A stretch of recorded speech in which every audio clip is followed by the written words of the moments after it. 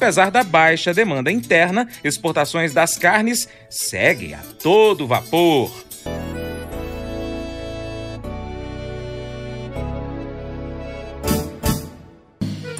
Acordo de manhã para prosear no mundo do campo, as notícias escutar.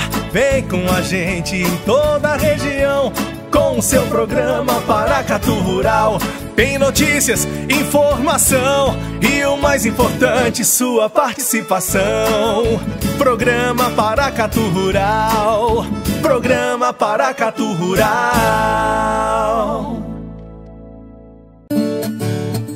Análise de mercado agropecuário com Vlamir Brandalize. A carne bovina foi o principal produto entre as carnes no quadrimestre, sendo responsável por 45,3% do valor exportado. As vendas de carne bovina in natura registraram recorde histórico para o quadrimestre em valor 2,13 bilhões de dólares. Quantidade: 469,76 mil toneladas, também recorde. A China representou quase metade das exportações brasileiras do produto nesse período, foi 49,6%, sobre eh, sendo então o mercado que mais contribuiu para o crescimento, com 26% e meio em relação a 2019.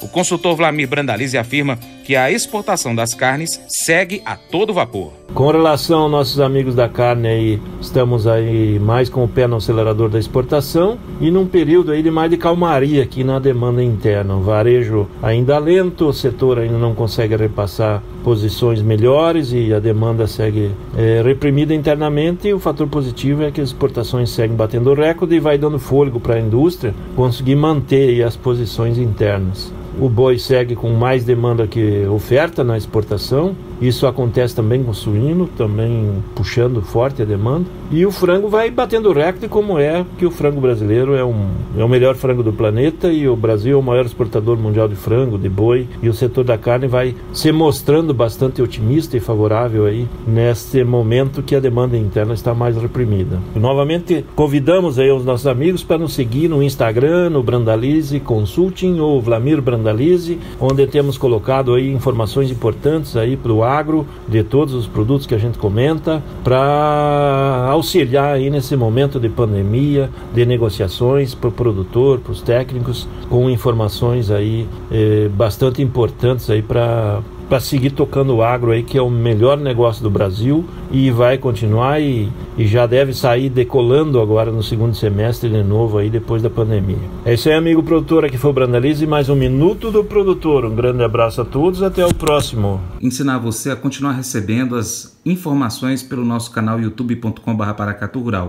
Se você recebeu o nosso link é, no seu WhatsApp, você vai clicar nessas letrinhas em azul aqui no finalzinho que é o link do vídeo.